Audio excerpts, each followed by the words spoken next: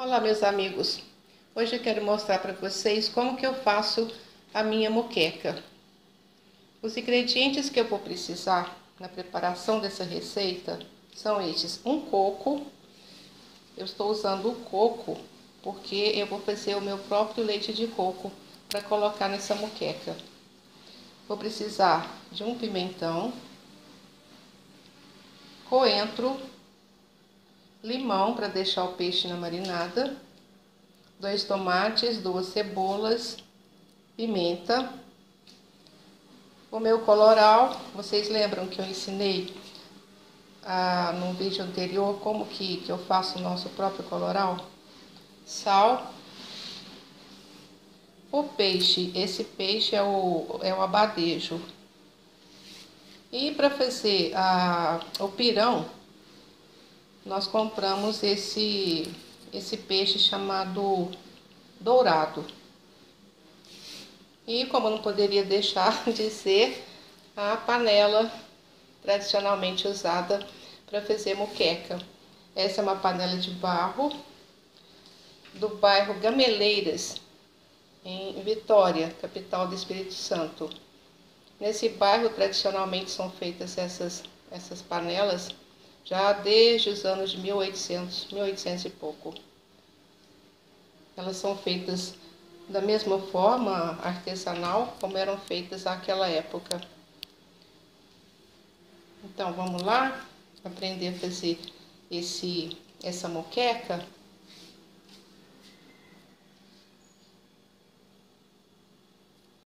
Então, meus amigos, eu já piquei o pimentão o tomate. O tomate eu deixei com pele e sementes. As pimentas, a cebola, o coentro. E eu esqueci de falar para vocês do azeite e da farinha para fazer o nosso pirão. Eu preferi picar dessa forma. Aqui em casa a gente gosta mais assim, mas a forma tradicional de picar tanto tomate quanto o pimentão e a cebola é sob a forma de rodelas. Aqui que a gente faz assim, porque a gente gosta mais. Falando de moqueca, eu acho interessante passar a informação que, ah, apesar das variações, existem duas formas tradicionais no, no nosso país. A moqueca capixaba e a moqueca baiana. A diferença entre uma e outra, a muqueca capixaba, a gente usa azeite e não azeite de dendê. Usa urucum e ela também, na, na capixaba, não vai o pimentão e nem o leite de coco. Essa minha, como é uma variação das inúmeras que a gente pode fazer no país, é, é uma, como eu disse, uma quase que uma misturinha dessas duas, da capixaba e da baiana, porque eu vou colocar tanto o pimentão quanto o leite de coco e eu vou usar o urucum. Nessa eu não vou usar, como na moqueca baiana, não vou usar o azeite dendê. Eu queria deixar essa informação sobre esses dois tipos de moqueca. A forma tradicional de fazer é diferente, né? Ela apresenta particularidades. Primeira coisa que eu vou fazer é colocar o limão no nosso peixe. Limão. E sal. Um pouquinho de sal. Só um pouquinho nessa parte. Nessa parte. Porque depois a gente vai corrigir o tempero quando for para panela. Aí eu deixo esse peixe por volta de uma meia hora. Bom, meus amigos, eu vou começar a fazer pela, pelo pirão. Colocar o azeite. O coloral. Aquele que eu fiz, ensinei pra vocês. Que dá aquela cor linda, linda, linda e colocar o nosso peixe, que é o dourado.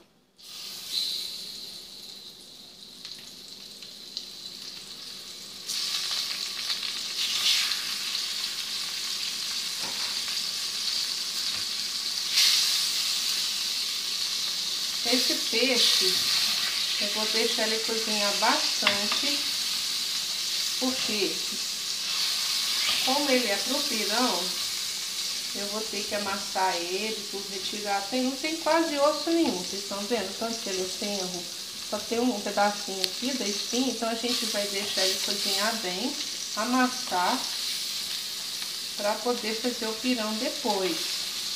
Vou colocar um pouquinho de água.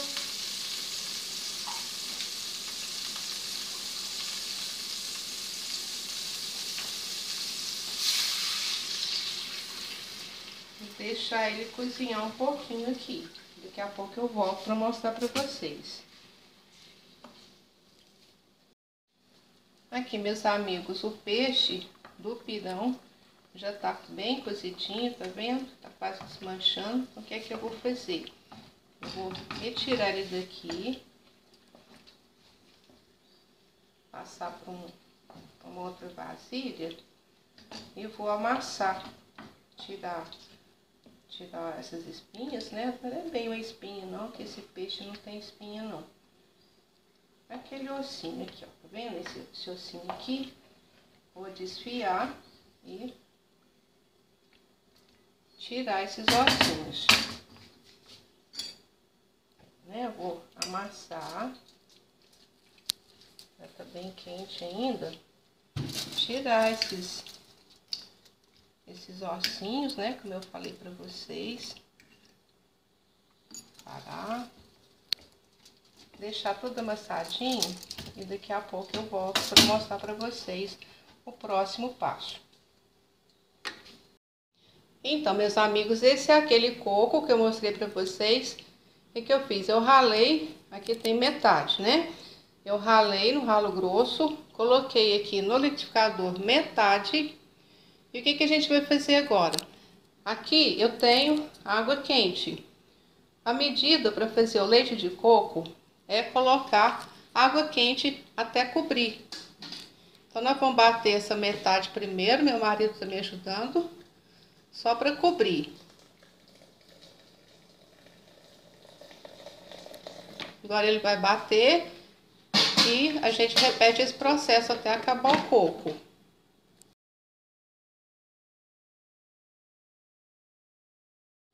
Bom, então, já batemos todo aquele coco e agora meu marido vai coar. Embaixo, nós colocamos um pano, um pano bem limpinho. Então, o que, que ele vai fazer? Ele vai coar esse caldo. Com esse resíduo, a gente pode fazer bolos, pães, é, não, não, não precisa de jogar fora não, pelo contrário. E esse leite que está saindo é o nosso leite de coco. Nós vamos usar para fazer a nossa muqueca.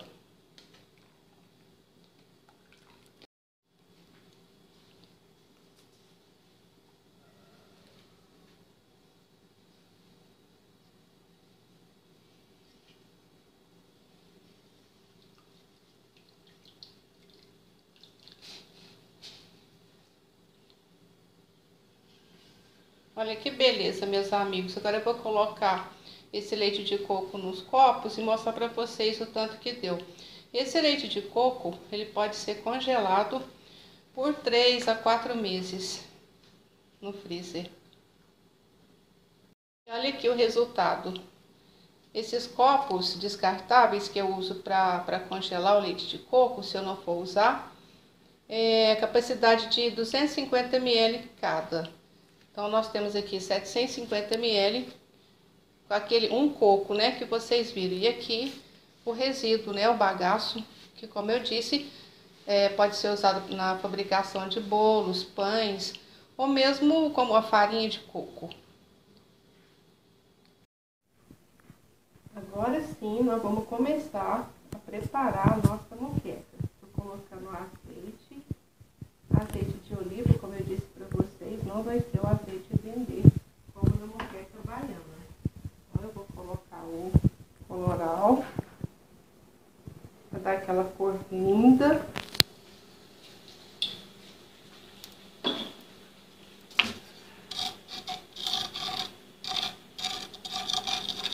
Dá uma esquentadinha, apesar de que a panela já está quente. Uma curiosidade é que essas panelas, elas demoram bastante para esquentar mas também depois que esquentam, elas conservam a temperatura por bastante tempo. É bonita gente, a gente ver quando a gente vai em restaurantes, aquela panela borbulhando, né? Tão, tão bonito isso. Porque ela conserva bastante o calor. Panela de barro. Agora eu vou colocar uma camadinha de cebola.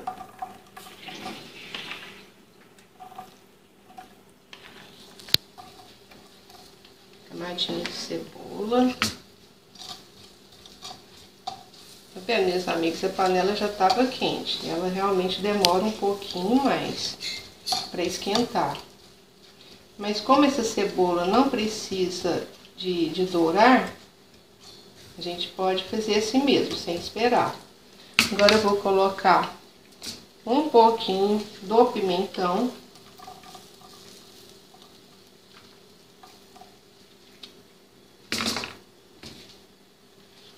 Pouquinho do tomate.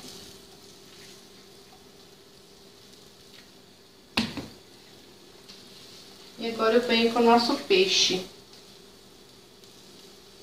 Vocês lembram que eu deixei, eu deixei ele na o sal e limão. Ele ficou por meia hora. Meia hora. Olha que peixe lindo. Aí, eu coloco a outra camada de cebola.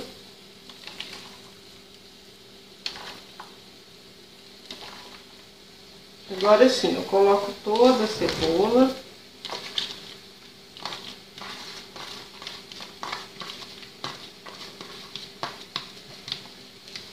Cebola. Restinho do peixe. Olha que linda que vai ficar essa moqueca. Peixinho. O pimentão. O restante do pimentão.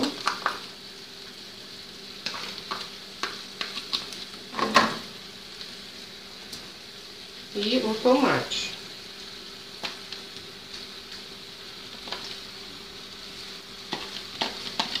Corrijo o sal um pouquinho do sal. Depois a gente prova de novo. Coloco um pouquinho só de água. Água de preferência quente, que eu já deixei aqui, mas não muito, porque o que vai soltar realmente a aguinha vai ser o próprio peixe. Daí eu tampo, tampo a panela.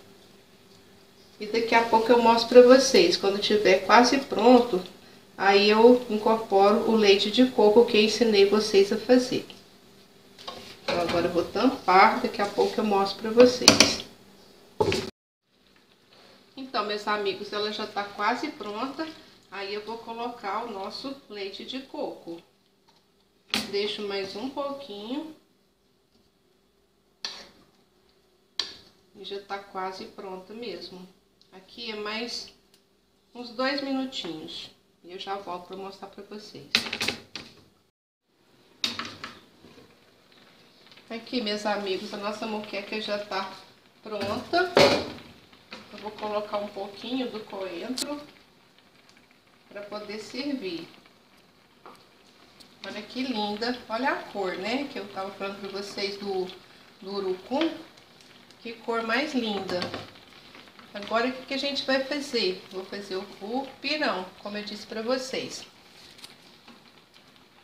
Olha aqui o caldinho. Vou colocar a pimenta, porque aqui a gente gosta bastante de pimenta. E eu acho que pirão tem que ser bem apimentadinho. Vou pegar o peixinho que eu desfiei. Só um instante.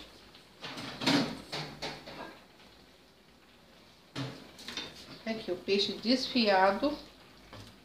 Vou incorporar nesse caldo que já tá com o sal. E o que que eu vou fazer agora? vou colocar a nossa farinha até dar o ponto. Olha aqui.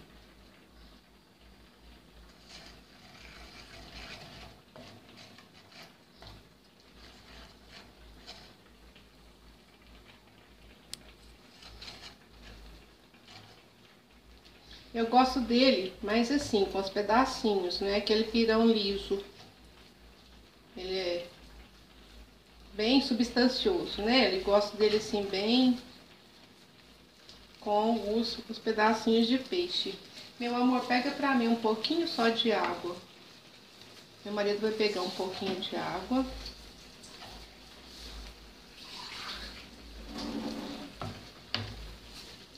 Vai pôr um pouquinho. Tá bom. Vendo? Ele fica úmido, pimentadinho, cheio de pedacinhos de peixe. E tá pronto o nosso pirão. Olha aqui que delícia. Pirão com a nossa moqueca.